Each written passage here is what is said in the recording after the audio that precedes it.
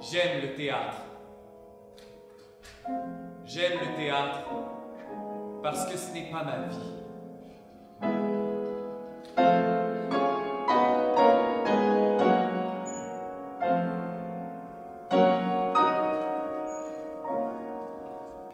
Divine Illusion, nous sommes en 1905, en décembre, à Québec. Il fait froid, c'est sombre, et arrive dans la ville la star internationale Sarah Bernard. Elle était déjà venue à Montréal, mais c'est la première fois qu'elle vient à Québec. Et le clergé, comme partout, est plus ou moins hospitalier à, à sa présence et lève un interdit contre elle.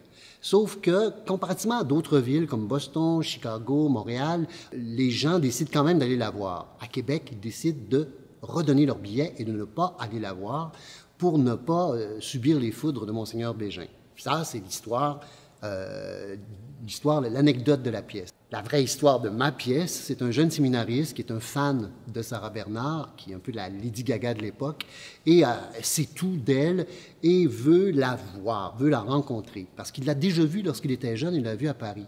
Et il ne peut pas sortir du séminaire. Et par un- une espèce de, stratagème, il réussit à la voir, parce que c'est lui qui va aller lire l'interdit de l'archevêque.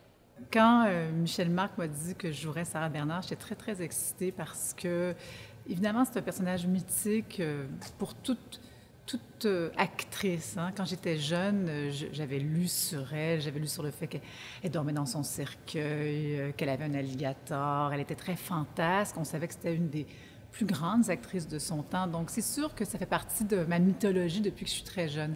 Là, je joue une Sarah Bernard inventée par Michel-Marc Bouchard, euh, qui est aussi euh, formée ou dessinée par Serge Denoncourt. C'est sans doute lui qui m'a appris à jouer, à jouer euh, réellement, à, défendre une histoire, quelle qu'elle soit, avec l'aspect théâtral de la tenue de l'histoire. On a visité plein d'univers aussi. Ici, on a fait les, les Trois Mousquetaires, on a fait Cyrano. C'est comme devenu, moi, une référence de travail, une méthode de travail qui, qui, qui, je suis comme un produit dérivé de Serge Noncourt, autrement dit. Vous savez que Bernard Chat ne m'aime pas non plus? Il dit que vous avez intoxiqué tous les grands rôles classiques avec votre gamme d'émotions remplies de grimaces. C'est par tous les saints du ciel, qui êtes-vous? Importe. Un anonyme, là de vivre en un temps de fumer sa pipe en parlant d'idéal, ce que je suis. Je ne sais pas. Voilà mon mal. L'aiglon, le restant, Vous avez aimé? vous commencez à me plaire. Alors, la pièce raconte le parcours de Michaud, qui a une espèce de fascination pour le théâtre. Il, il y voit beaucoup la lumière et le sublime, sauf qu'il rencontre un autre séminariste qui, lui, est porteur, je pense, de tous les maux de sa société. Euh, entre autres, particulièrement des abus faits aux enfants, soit dans les usines, soit par le clergé. Enfin, Michaud, et le jeune séminariste qui veut écrire une pièce, est complètement fasciné par lui et va découvrir à travers lui la réalité d'une époque et ne saura pas comment l'écrire. Et c'est avec l'aide de Sarah Bernard qu'il arrivera à forger, si on peut dire, une opinion sur sa société et sur l'art également. Les deux sont des jeunes séminaristes, il y a de familles complètement opposées.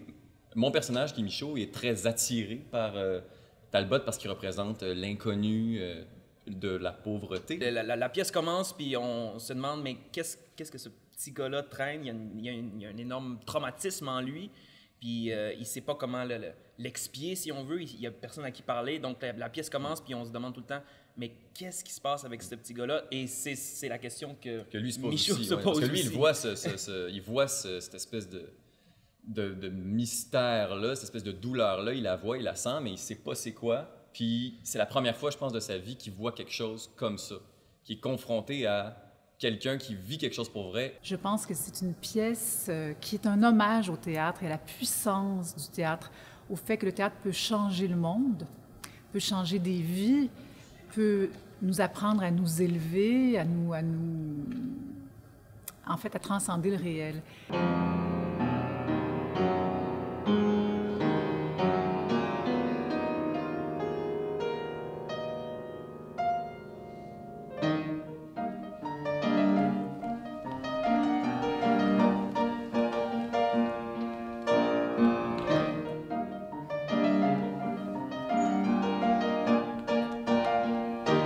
Ce spectacle-là va aller se promener en région.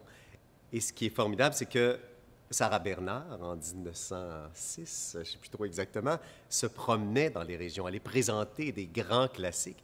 Et là, tout d'un coup, que ce texte-là qui raconte la visite de Sarah Bernard dans les années 1900, qui dénonce des, des, travers du clergé de l'époque, aille se repromener en région au Québec, c'est extraordinaire. Il y a comme du théâtre dans le théâtre, dans le théâtre, puis je vous convie à aller... Euh, à vous rendre à ces rendez-vous-là euh, si le spectacle passe par chez vous, parce que vous allez vivre quelque chose qui vous raconte et vous allez vivre aussi la, venue de cette grande artiste comme elle le faisait à l'époque au Québec, à Montréal, etc.